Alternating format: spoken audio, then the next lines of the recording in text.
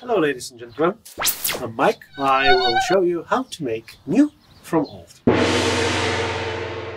This is an old chair that you can find somewhere on the attic or in your room that you have never been before since the last 10 years. And this is a, um, synthetic string. Uh, we need two crochets, the string, and a little bit of time and space. So, um, just watch what I'm doing and ask questions after. This way. Yeah, not that complicated as it looks. Yeah, just.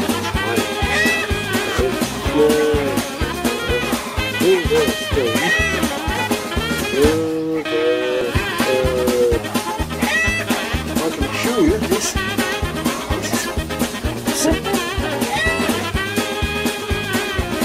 We can now make a tea. Or just refill a drink. We will come back to you. Stir. Oh, that's it. See? It works so easy. Back to our front. I'm really how good it is. Now, and tell me, which is the bay? Here or here? Here or here? Yeah,